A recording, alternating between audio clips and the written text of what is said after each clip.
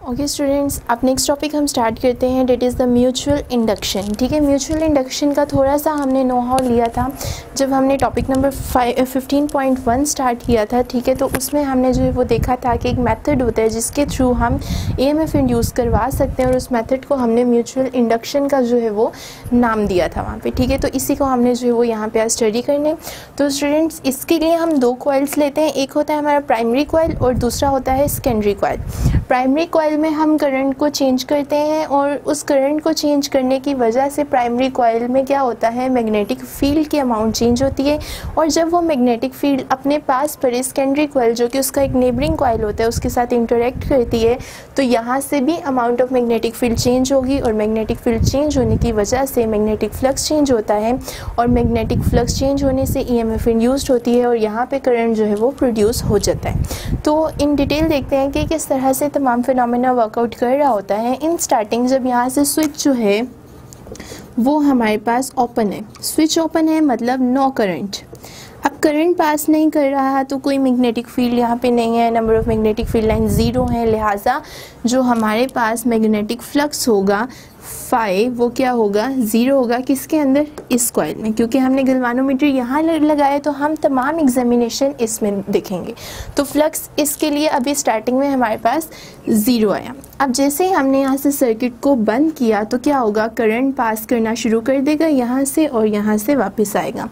As a result क्या होगा? Magnetic field जो है, वो प्रोड्यूस होगी और मैग्नेटिक फ़ील्ड लाइन्स इस तरह से इंटरेक्ट करेंगे। ठीक है?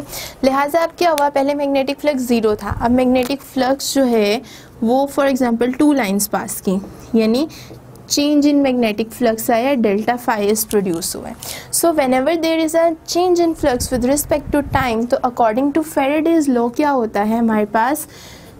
Change in flux per time EMF induced करवा देता है, ठीक है? तो ईएमएफ इंड्यूस्ड होगी और गिलवानोमीटर के अंदर करंट की डिटेक्शन जो है वो हो जाएगी।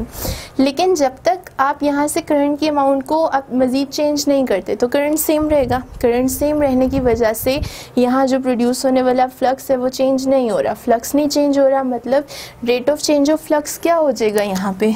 ज़ीरो और ई एम एफ़ क्या आएगी? ज़ीरो आ जाएगी। ई एम एफ़ ज़ीरो आने की वजह से करंट भी क्या हो जाएगा? ज़ीरो आ जाएगा। इसका मतलब है इस पर्पज़ के लिए हम यहाँ यूज़ करते हैं रियोस्टेट जिसके थ्रू हम अमाउंट ऑफ़ करंट को क्या कर सकते हैं with the passage of time change करवा सकते हैं। अब स्टूडेंट्स हम यहाँ पे बेसिकली करते क्या हैं? हम ये करेंगे कि यहाँ से जो हमारा रियो स्टेट है, उसके थ्रू हम रेजिस्टेंस चेंज करेंगे और अमाउंट ऑफ़ करंट को चेंज करवाएँगे। सपोज़ कि हमने करंट की जो अमाउंट है, वो बढ़ा दी कैसे? रेजिस्टेंस को कम करवाने से। रेजिस्टेंस कम करवाने से जैसे ही हमने अमाउंट ऑफ़ करंट बढ़ाई तो number of magnetic field lines जो हैं, वो क्या हो जाएँगी? बहुत ज़्यादा हो जाएँगी। अगेन क्या हुआ? फ्लक्स में चेंज आया फ्लक्स अब कितना हो गया? फोर लाइंस यानी फ्लक्स में चेंज प्रोड्यूस हुआ है। तो again change in flux with respect to time EMF produce करेगा और करंट जो है वो हमारे पास प्रोड्यूस हो जाएगा। तो ये फिनोमिना जो है वो यहाँ पे हो रहा होता है। अब मज़ीद हम स्टार्ट करते हैं इसकी डेरिवेशंस को। डेरिवेशंस और डेरिवेशन में देखते हैं कि रिज़ल्ट हमारे पास जो है वो म्यूचुअल इंडक्शन का ये जो प्रोसेस हो रहा है, यानी दो क्वाइल जो एक दूसरे के साथ पास पर हैं, वो कैसे एक दूसरे के साथ म्यूचुअली इंटरेक्ट कर रहे हैं, उसको हम म्यूचुअल इंडक्शन कहते हैं और कैसे म्यूचुअली इंटरेक्शन की वजह से इस वाले कॉयल में ईएमएफ जनरेट होती है, ठीक है? अब एक अगर हम यहाँ पे जो है वो सेकेंडरी कॉयल लें, जिसमें एन नंबर ऑफ़ टर्न्स हैं तो अगर एक जो हम जो है वो इस पूरे कॉयल का एक लूप ले लें, ठीक है? फॉर एग्जांपल हम ये वाला लूप ले लेते हैं। तो इस लूप का जो फ्लक्स होगा, वो हम कहते हैं वो फाइव एस है। ठीक है? और अगर यहाँ पे n नंबर ऑफ़ लूप्स हैं तो इसका मतलब है एन ईयर्स जो है वो टोटल फ्लक्स होगा। और ये किस पे डिपेंड कर रहा है? ये फ्लक्स जो है, यहाँ पे जो इनका है, वो डिपेंड कर रहा है करंट ऑफ़ आई पी के ऊपर, यानी हमारे प्राइमरी कोयल के करंट पे। अगर प्राइमरी कोयल का करंट कम होगा तो यहाँ जो हमारे सेकेंडरी कोयल के लूप्स हैं, उनके थ्रू जो चेंज इन फ्लक्स है, या उनका जो फ्लक्स है, वो भी कम होगा। और अगर प्राइमरी प्राइमरी कोयल का करंट ज़्यादा होगा तो यहाँ पे जो लूप्स का हमारे पास फ्लक्स है, वो भी क्या होगा? ज़्यादा होगा। इस प्रोपोर्शनैलिटी को हम यहाँ से ख़त्म करें तो हमारे पास एक कांस्टेंट आ जाता है, जिसे कहते हैं म्यूचुअल इंडक्टेंस ठीक है, ये कांस्टेंट ऑफ़ प्रोपोर्शनैलिटी होता है। इसकी वैल्यू स्टूडेंट्स यहाँ से निकालना चाहें तो ये किसके इक्वल आएगी? N phi s over I P के। तो जो हमारी म्यूचुअल इंडक्टेंस होती है, वो डिपेंड कर रही होती है एक तो नंबर ऑफ़ टर्न्स पे करंट कितना है फ्लक्स कितना है और साथ ही साथ ये डिपेंड करती है कि हमारा जो सेकेंडरी कोयल है, उसका मटेरियल किस टाइप का है। ठीक है फॉर एग्जांपल अगर यहाँ पे हम वाउंडिंग के लिए जो नीचे हमने एक पूरा सांचा तैयार किया हुआ है स्ट्रक्चर तैयार किया हुआ है, उसमें कॉपर यूज़ करते हैं तो उसके लिए म्यूचुअल इंडक्टेंस को छोड़ोगी अगर यहाँ पे हम आयरन यूज़ कर लेते हैं मटीरियल के तौर पर नीचे वायरिंग के तौर पर तो म्यूचुअल इंडक्टेंस को छोड़ोगी तो ये डिपेंड कर रहा होता है हमारे चॉइस ऑफ़ मटीरियल के ऊपर। तो ये हमारे पास यहाँ से म्यूचुअल इंडक्टेंस की जो है वो वैल्यू आ जाती है। अब स्टूडेंट्स यहाँ पे हमारे पास एन नंबर ऑफ़ टर्न्स है।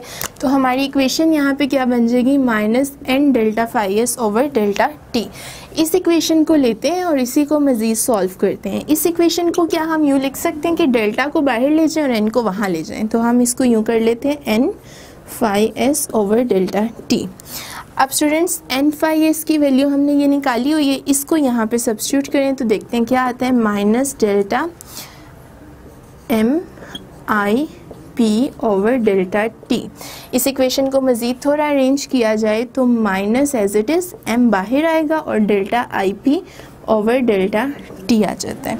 तो अब जो है वो हमारे पास जो इक्वेशन बनी है वो क्या आ रही है ई एम एफ़ की E is equal to minus M delta I P over delta t इसका मतलब क्या है कि जो हमारी इंड्यूस्ड ईएमएफ है, वो किसके इक्वल है? Rate of change of current in the primary coil ठीक है? क्योंकि जितना rate of change of current होगा आपके प्राइमरी कॉयल में, उतना ही रेट ऑफ़ चेंज होगा आपके फ्लक्स के अंदर और उसके थ्रू हमें, जो है वो इंड्यूस्ड ईएमएफ की वैल्यू जो है वो पता चल जाती है। तो ये रिज़ल्ट आ गया यहाँ पे। अब यहाँ से अगर आप जो है वो एम की वैल्यू यानी म्यूचुअल इंडक्टेंस की वैल्यू जो है वो डिटर्मिन करना चाहें तो वो हम किस तरह से निकाल सकते हैं? एम किसके इक्वल आ जाएगा? Minus E delta t over I P इसके इक्वल और मज़ीद अगर आप इसे एक फॉर्म में लिखना चाहें तो हम इसे कैसे लिख सकते हैं? माइनस ई डेल्टा टी नीचे जाके डिवाइड होगा delta I P over delta t के। इसका मतलब क्या है?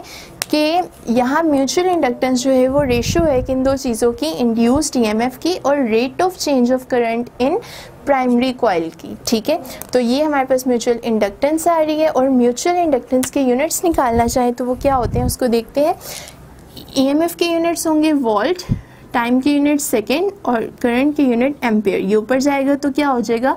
वोल्ट सेकेंड पर एम्पेयर और इसको हेनरी कहा जाता है इन यूनिट्स को कलेक्टिवली क्योंकि इनको जोसेफ हेनरी ने जो है वो एक्सप्लेन किया था. तो हमारी म्यूचुअल इंडक्टेंस वन हेनरी के इक्वल कब होगी? When a rate of change of one ampere current per second in a primary coil produces an EMF of one volt ठीक है? तो तब हमारी जो म्यूचुअल इंडक्टेंस है वो वन हेनरी के जो है वो किसके, आ जाती है, इक्वल आती है। हमारी जो एम एम यहाँ पे जो मैग्नेटिक इंडक्टेंस है वो भी डिपेंड कर रही होती है। पहले ही हमने डिस्कस किया था कि हमारी कोयल जो है वो किस मटेरियल से तैयार हुआ हुआ है, उस पर डिपेंड करती है और उसका क्रॉस सेक्शनल एरिया कितना है। कि अगर क्रॉस सेक्शनल एरिया ज़्यादा होगा तो म्यूचुअल इंडक्टेंस कुछ और होगी, अगर क्रॉस सेक्शनल एरिया कम होगा तो तब म्यूचुअल इंडक्टेंस की वैल्यू कुछ और होगी। तो ये था टॉपिक म्यूचुअल इंडक्शन।